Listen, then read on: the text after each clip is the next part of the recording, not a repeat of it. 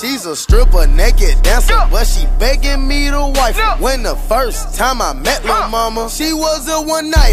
Hell nah, I don't love nothing but my money and my rifle. At the top like Eiffel Tower, I told her beat it, you would thought she was Michael. She don't wanna be a freak no more. She don't wanna take money, get geek no more. She don't even wanna strip no more. She don't wanna see the pole. Cause young nigga walking straight in with the gun. I apologize.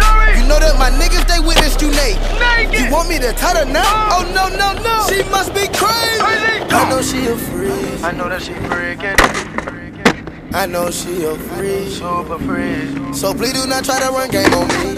I'm not a PlayStation. set me Please do not try to run game on me. I'm not a 360. Then she told